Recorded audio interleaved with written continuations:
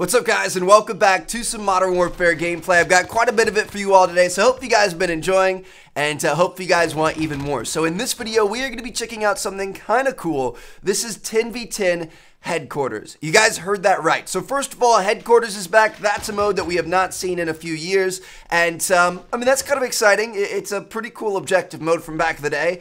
I wouldn't say it was like my favorite, but it was definitely a lot of fun. Like, I, I did enjoy playing it from time to time. So that's a good thing. And then also 10v10, which is kind of exciting. So we've actually got some pretty weird things going on in terms of the team sizes in this game. And when I say weird, I, I just mean like different, like unique. And I think that's a good thing. So we've got the 2v2 gun gunfight mode. We've got 6v6 normal game modes. We've got 10v10 here, which we have HQ in, and maybe some other game modes, I'm not sure. And then we've also got some 20v20 modes, which I've got videos coming out later, so make sure you guys stay tuned for that. But um, 10v10 is, you know, we, we've kind of seen that before. We have seen ground war in some games a long time ago where it was 9v9, but um, I, I, wouldn't say that this is too similar. I mean, Ground War, it was just like more players on the same maps, so the maps felt smaller, they felt more action packed, and there was more action going on, which I always really enjoyed.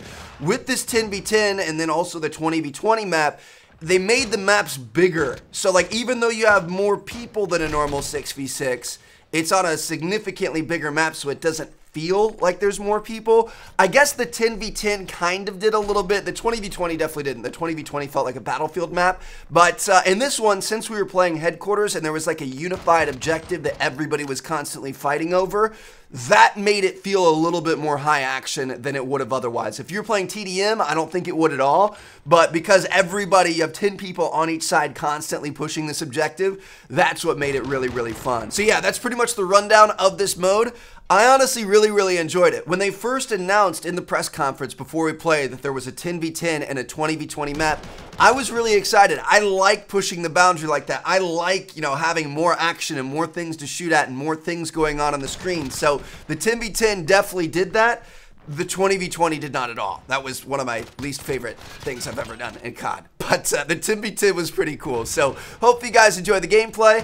I'm going to go ahead and get out of here. Thank you guys so much for watching. Thanks to Activision for the invite. Make sure you guys check out that KontrolFreek giveaway down the description. And then also this gameplay is not all mine. A lot of it is, but uh, I also shared it with some friends. So I'm going to link them down below. Make sure you guys check them out. Just wanted to get you a lot of different angles and weapons and game styles and stuff. So anyway, enjoy the gameplay.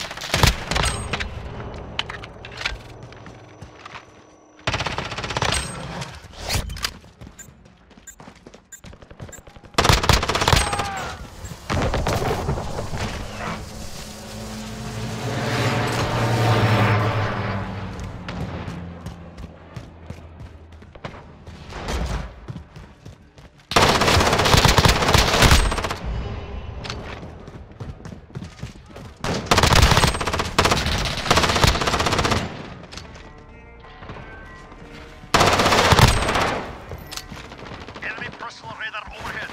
Get ready, we move soon.